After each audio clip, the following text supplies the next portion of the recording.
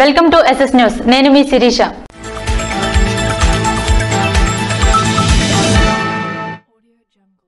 పంట నష్టం నమోదు చేయాలని జిల్లా కలెక్టర్ శ్రీకేష్ బిల్లాడ్కర్ అన్నారు. బుధవారం మిచాంగ్ తుఫాన్ కారణంగా జిల్లాలో గత రెండు రోజులుగా కురుస్తున్న వర్షాలతో ఎక్కడైనా పంట నష్టం సంభవిస్తే రైతులు వారి వారి స్థానిక రైతు భరోసా కేంద్రాలను సంప్రదించి సమస్యను తెలియజేయాలని జిల్లా కలెక్టర్ శ్రీకేష్ బి లాడ్కర్ తెలిపారు. తుఫాన్ తదనంతర పరిస్థితులపై అన్ని జిల్లా కలెక్టర్లు ఇతర ముఖ్య అధికారులతో ముఖ్యమంత్రి జగన్మోహన్ రెడ్డి అమరావతి నుంచి బుధవారం నిర్వహించిన వీడియో కాన్ఫరెన్స్కు ఆయన హాజరయ్యారు. అనంతరం ఆయన జిల్లా అధికారులతో మాట్లాడుతూ వర్షాల కారణంగా పొలాల్లో నీరు నిలువ ఉండి పంటలు నష్టపోయిన ప్రాంతాల్లో వ్యవసాయ శాఖ యంత్రాంగం క్షేత్రస్థాయిలో పరిశీలించి పంట నష్టాలు ఉన్నట్లయితే నమోదు చేసుకోవాలని సూచించారు. అలాగే ప్రభుత్వ ఆస్తులకు సంబంధించి ఇతర ఏ నష్టాలైనా ఉన్నట్లయితే రెండు రోజుల్లో నివేదించాలని అన్నారు. ధాన్యం కొనుగోలు కేంద్రాల్లో రైతులకు ఎలాంటి ఇబ్బందులు లేకుండా చూడాలన్నారు. వీడియో కాన్ఫరెన్స్లో జిల్లా SP G R Radhika joint collector M Naveen జిల్లా వ్యవసాయ శాఖ అధికారి K Sridhar APEP DCL Nagireddy తదితరులు హాజరయ్యారు.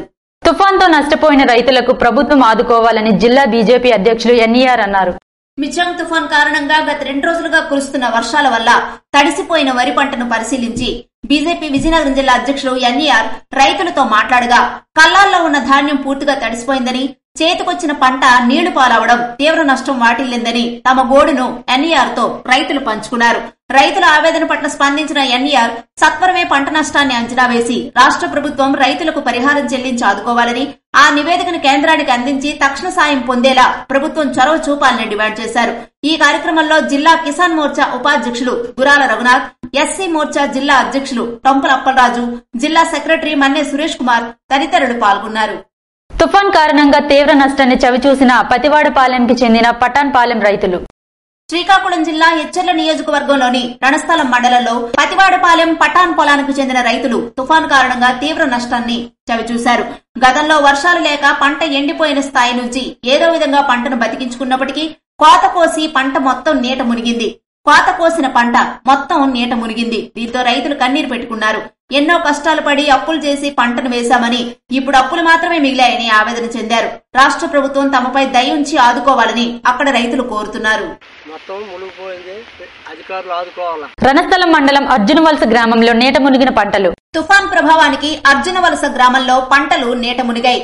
రైతు కోట్ల రామనాయుడికి సంబంధించిన వరి పంట చేను సుమారుగా రెండు పాయింట్ ఐదు ఎకరాలు పూర్తిగా నీట మునిగిపోయింది. చేతికి అందిన పంట నీట మునిగిపోవడంతో రైతు తీవ్ర మనస్తాపానికి గురయ్యి కన్నీరు మున్నీరయ్యారు. ప్రభుత్వం తమని ఆదుకోవాలని కోరుకున్నారు. మాతా శిశు మరణాల నివారణకు అందరూ సమిష్టిగా కృషి చేయాలని జిల్లా కలెక్టర్ శ్రీకేష్ బిల్లాడ్కర్ ఆదేశించారు. కలెక్టర్ కార్యాలయ సమావేశ మందిరంలో బుధవారం నిర్వహించిన మాతృ శిశు మరణాలు సంభవించడానికి గల కారణాలపై ప్రతి మూడు నెలలకు జరిగే జిల్లా కమిటీ సమావేశానికి కలెక్టర్ అధ్యక్షత వహించి మాట్లాడారు. మాతృ శిశు మరణాలకు ఆస్కారం లేని విధంగా వైద్య ఆరోగ్య స్త్రీ శిశు సంక్షేమ శాఖల సిబ్బంది పనిచేయాలన్నారు. వైద్యాధికారులు ఎల్లవేళలా అందుబాటులో ఉంటూ పూర్తి స్థాయిలో సేవలందించాలన్నారు ప్రభుత్వ ఆసుపత్రులు ప్రాథమిక ఆరోగ్య కేంద్రాల పరిధిలోని గర్భిణీల వివరాలు నమోదు చేసుకుని ప్రభుత్వ ఆసుపత్రిలో ప్రసవం కోసం ప్రోత్సహించాలని అదేవిధంగా ప్రజల్లో అవగాహన కల్పించాలని తెలిపారు. అవసరమైన పరీక్షలు నిర్వహిస్తూ సుఖప్రసవం అయ్యే విధంగా వైద్యాధికారులు చర్యలు తీసుకోవాలన్నారు. ఆసుపత్రుల్లో సాధారణ ప్రసవాలు జరిగే విధంగా వైద్యాధికారులు ప్రత్యేక చర్యలు చేపట్టాలన్నారు. గర్భిణీల ఆరోగ్య దృష్ట్యా రక్తహీనత సమస్య లేకుండా అవసరమైన మందులు అందించాలన్నారు. ఈ సంవత్సరం సెప్టెంబర్ నుంచి నవంబర్ వరకు సంభవించిన డెబ్బై మాతృ శిశు మరణాలపై సంబంధిత వైద్య పరీక్షల నివేదికలు పోస్టుమార్టం రిపోర్టును క్షుణ్ణంగా తనిఖీ చేసి మరణాలు సంభవించడానికి గల కారణాలపై పూర్తి స్థాయిలో విచారణ చేపట్టి సమీక్షించారు. మరణాలు యాంటనేటల్ పోస్టనేటల్లో సంభవిస్తున్నాయా? మరణాలు సంభవించడానికి గల కారణాలేమిటి? గర్భిణీల్లో రక్తహీనత పోషకాహార లోపం ఇతర కారణాలు ఏవైనా ఉన్నాయా అనేది పూర్తిగా విశ్లేషించారు. గుప్పెడిపేట రెంటికోట రట్టీలలో జరిగిన గర్భిణీల మరణాలపై విచారణ జరిపారు. అనంతరం పలువురికి షోకాజ్ నోటీసులు జారీ చేయాలని ఆదేశించారు. సమావేశంలో DM and HO B Meenakshi ICDS PD Shantisri తదితరులు పాల్గొన్నారు. ఎచ్చెర్ల నియోజకవర్గం రణస్థల మండలం పైడిభీమవరం పంచాయతీ సంచం గ్రామంలో పర్యటించిన విశ్వక్షేన్ తుఫాన్ ప్రభావిత ప్రాంతాల్లో ఎచ్చెర్ల నియోజకవర్గ జనసేన సమన్వయకర్త విశ్వక్సేన్ పర్యటించారు. హోరెన వర్షం పడుతున్నా లెక్క చేయకుండా గొడుగులతో నేరుగా పంట పొలాల్లోకి వెళ్ళి ఆయన రైతులతో మాట్లాడారు. వరి రైతులు మాట్లాడుతూ ఈ తుఫాన్ వల్ల పండించుకున్న పంట మొత్తం చేతికి అంది చేజారిపోయిందని కన్నీళ్ళు పెడుతూ ప్రభుత్వం వెంటనే స్పందించి తమని ఆదుకోవాలని రైతులు విశ్వక్సేన్కి తెలియజేశారు. విశ్వక్సేన్ మాట్లాడుతూ తుఫాన్ నష్టం అంచనాలకు అందట్లేదని ముఖ్యమంత్రి రైతుల్ని ఆదుకోవాలని తక్షణమే ఎకరాకు ఇరవై వేల రూపాయలు ప్రభుత్వం ఇవ్వాలని తెలియజేశారు. ఈ కార్యక్రమంలో మండల అధ్యక్షులు బసవ గోవిందరెడ్డి వడ్డాది శ్రీనివాసరావు బర్నాల దుర్గారావు జన సైనికులు పాల్గొన్నారు. శ్రీకాకుళం జిల్లా చైర్పర్సన్ పిరియ విజయసాయిరాజ్ కంచిలి మండలం మండపల్లి గ్రామం సచివాలయం పరిధిలో ఆంధ్రప్రదేశ్ జగనే ఎందుకు కావాలంటే ప్రచార కార్యక్రమాన్ని నిర్వహించారు. ఈ సందర్భంగా శ్రీకాకుళం జిల్లా పరిషత్ చైర్పర్సన్ ప్రియా విజయసాయిరాజ్ మాట్లాడుతూ వైసీపీ ప్రభుత్వం అధికారంలోకి వచ్చిన తర్వాత ప్రజలకు అందించిన సేవలు సంక్షేమం అభివృద్ధిని డిస్ప్లే బోర్డులో వివరిస్తూ చరిత్ర పుటలు ఎరుగని విప్లవాత్మక పాలనతో నాలుగున్నరేళ్ళుగా రాష్ట్రంలో ప్రతి ఇంటికి ప్రతి పౌరుడికి ప్రత్యక్షంగా పరోక్షంగా చేకూర్చిన మేలును వివరిస్తూ ఆంధ్రప్రదేశ్కి జగనే ఎందుకు కావాలంటే కార్యక్రమాన్ని ప్రారంభించారు. పరిపాలనా సంస్కరణలు వినూత్న కార్యక్రమాల ద్వారా దేశమంతా ప్రశంసించేలా మన రాష్ట్రం సాధించిన పురోభివృద్ధిని అందరికీ తెలియజేసేలా చేయాలన్నారు. గృహసారథులు పార్టీ సానుభూతి పరులు ప్రీతమ ముఖ్యమంత్రి జగన్మోహన్ రెడ్డి అభిమానులు కార్యక్రమంలో పాల్గొంటారని రాష్ట్రంలో నాలుగున్నరేళ్ళుగా జరిగిన ప్రగతి సాకారమైన మార్పులను తెలియజేయడంతో పాటు గత ప్రభుత్వానికి ప్రస్తుత ప్రభుత్వానికి మధ్య ఉన్న వ్యత్యాసాన్ని వివరించాలన్నారు.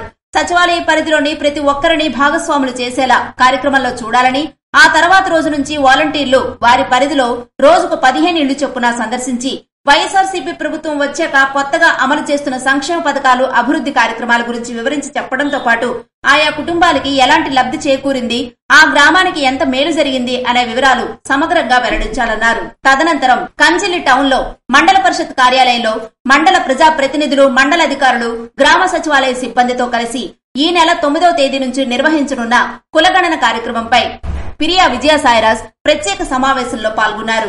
ఈ కార్యక్రమంలో ఆమె మాట్లాడుతూ కులగణన ముఖ్యమంత్రి జగన్మోహన్ రెడ్డి ప్రతిష్టాత్మకంగా చేపడుతున్న కార్యక్రమమని వివిధ కులాల స్థితిగతులను గుర్తించేందుకు ఉపయోగపడుతుందని అన్నారు. ప్రజలు సామాజిక సుస్థిరతకు కులగణన దోహదపడుతుందని ప్రజాభివృద్ధిలో కులగణన ముఖ్య భూమిక వహిస్తుందన్నారు. సర్వే చేసేటప్పుడు ఇంటింటికి వచ్చే సచివాలయ సిబ్బందికి ప్రజలందరూ సహకరించాలన్నారు. కార్యక్రమంలో కంచలి ఎంపీపీ పైల దేవదాస్ రెడ్డి పిఎస్ఎస్ అధ్యక్షులు గుమ్మడి రామదాస్ ఆర్బీకే అధ్యక్షులు లడ్డు కేశవపాత్రో దుర్గాస్ ధర్మారావు తదితరులు పాల్గొన్నారు. రేగడి మండలం బోడాడ్ గ్రామంలో బాబాసాహెబ్ అరవై ఏడవ వర్ధంతి కార్యక్రమాన్ని నిర్వహించారు. విజయనగరం జిల్లా రాజాం నియోజకవర్గం రేగడి మండలం బోరాడు గ్రామంలో రేగడి మండల సమతా దైనిక అధ్యక్షుడు తేగల మోహన్ రావు ఆధ్వర్యంలో బాబాసాహెబ్ అరవై ఏడవ వర్ధంతి కార్యక్రమాన్ని జరిపి ఘనంగా నివాళులర్పించారు. కార్యక్రమానికి రాజాం నియోజకవర్గ వైసీపీ నాయకులు సన్ రైజ్ హాస్పిటల్ అధినేత తలే రాజేష్ ముఖ్య అతిథిగా హాజరయ్యారు. ఈ సందర్భంగా ఆయన మాట్లాడుతూ Babasaheb Ambedkar SC ST BC మైనారిటీలకు మాత్రమే కాకుండా అన్ని వర్గాలకు చెందిన మహోన్నతమైన వ్యక్తిని కొనియాడారు. అదేవిధంగా విజయనగరం జిల్లా విజిలెన్స్ అండ్ మానిటరింగ్ కమిటీ సభ్యులు ఆర్ జయరావు మాట్లాడుతూ అన్ని వర్గాలకు బాబాసాహెబ్ రచించినటువంటి రాజ్యాంగం కోసం చేసిన త్యాగాలను గుర్తు చేశారు. కార్యక్రమంలో రాజాం నియోజకవర్గ బహుజన సమాజ్వాదీ పార్టీ ఇన్ఛార్జ్ బొత్స బుద్ధుడు దళిత హక్కుల పరిరక్షణ సమితి పాలకొండ డివిజన్ ప్రధాన కార్యదర్శి రవికుమార్ రేగడి మండల వైసీపీ యువ నాయకులు గురివేంద్ర శ్రీనివాసరావు తదితరులు పాల్గొని అంబేద్కర్ విగ్రహానికి నివాళులర్పించారు. మోటారు వాహన ప్రమాద కేసుల్లో జాతీయ లోక్ అదాలత్ ద్వారా సత్వర న్యాయం పొందవచ్చని జునేద్ అహ్మద్ మౌలానా సూచించారు.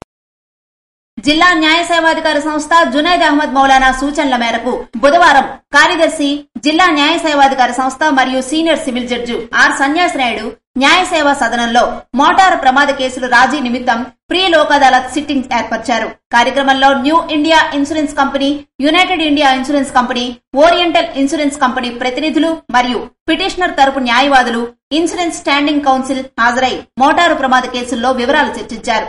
ఈ కార్యక్రమంలో జడ్జి మాట్లాడుతూ మోటారు ప్రమాద కేసులు లోక్ అదాలత్లో రాజీ అవటం వల్ల కక్షిదారులకు సత్వరమైన న్యాయం దొరుకుతుంది కావున ఇన్సూరెన్స్ కంపెనీ ప్రతినిధులు మరియు పిటిషనర్ తరపు న్యాయవాదులు ఎక్కువ కేసులు రాజీ చేయడానికి కృషి చేయాలని కోరారు.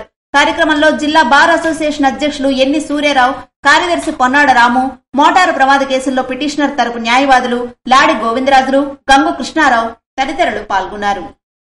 డిసెంబర్ తొమ్మిదిన జరిగే జాతీయ లోక్ అదాలత్లో ఎక్కువ కేసులు రాజీ చేయడానికి కృషి చేయాలని జిల్లా జడ్జ్ జునేద్ అహ్మద్ మౌలానా అన్నారు.